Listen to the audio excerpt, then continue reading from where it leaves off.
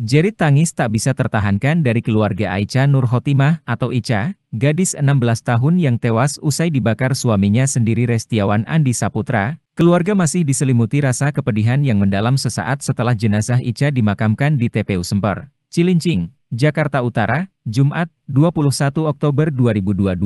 Pemakaman yang berlangsung malam hari berjalan khusyuk dengan dihadiri keluarga, sanak saudara, hingga teman-teman Ica. Tangisan demi tangisan terdengar di pemakaman unit Islam TPU Semper, yang suasananya sangat gelap meski banyak lampu penerangan berjejer di dalamnya.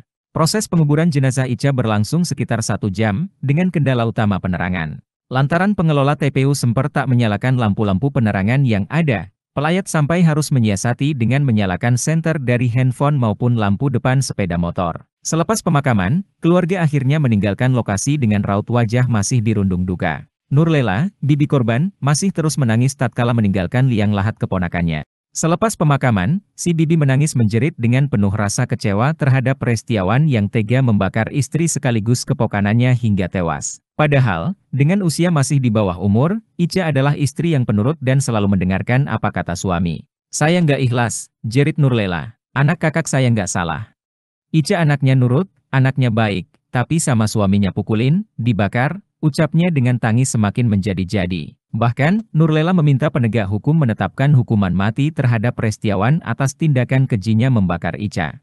Tolong Pak Polisi, pelaku dihukum seberatnya, mati sekalian, cetus Nurlela.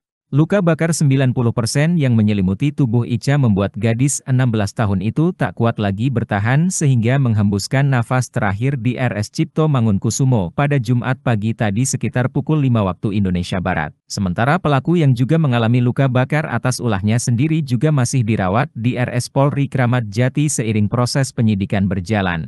Kronologi suami bakar istri di Koja Pelaku Restiawan tega membakar istrinya sendiri di dalam kontrakan tempat tinggalnya di Jalan Mawar Luar, RT 03 RW 06 Kelurahan Tugu Utara, Koja, Jakarta Utara, Minggu, 16 Oktober 2022, dini hari. Kakak ipar korban, J mengatakan, awalnya pelaku yang baru kembali dari kampung halamannya di Brebes, Jawa Tengah tiba-tiba datang ke kontrakan tersebut. Pelaku datang menenteng ransel dan langsung naik ke kontrakan yang berada di lantai dua. Dirinya langsung menggedor-gedor pintu kontrakan tersebut bermaksud mencari istrinya. Setelah sempat cekcok, Restiawan langsung menyiramkan bensin dan membakar seisi kontrakan.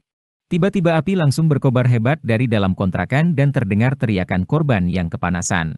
Sisi lain, pelaku terlihat berlari keluar kontrakan menuruni tangga dengan kondisi badan dipenuhi api. Kita baru keluar dari pintu, tahu-tahu tersangka udah lari, Udah api semua, kata Joy saat ditemui di lokasi, Selasa, 18 Oktober 2022. Sesaat kemudian, istri pelaku yang sekujur tubuhnya juga masih dipenuhi api mencoba masuk ke kontrakan sebelahnya dan menuju kamar mandi. Di sisi lain, kedua orang tua korban alias mertua pelaku juga keluar rumah dengan kondisi tubuh sudah terbakar. Yang istrinya ini parah di dalam, saya kira udah keluar. Dia masuk ke kamar mandi kontrakan lain udah telanjang bulat abis semua badannya kebakar, kata Joy.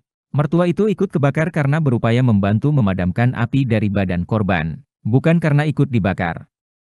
Mungkin mamanya meluk si istri, sambungnya. Adapun sesaat setelah kejadian, pelaku langsung ditangkap warga tak jauh dari kontrakan tempat kebakaran terjadi. Polisi menetapkan pasal 187 KUHP tentang pelanggaran membakar nyawa seseorang dengan ancaman hukuman 12 tahun penjara.